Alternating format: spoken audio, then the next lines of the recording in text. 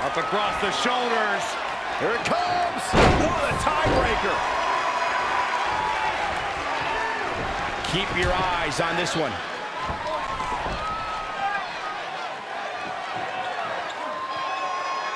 Once more, setting it up.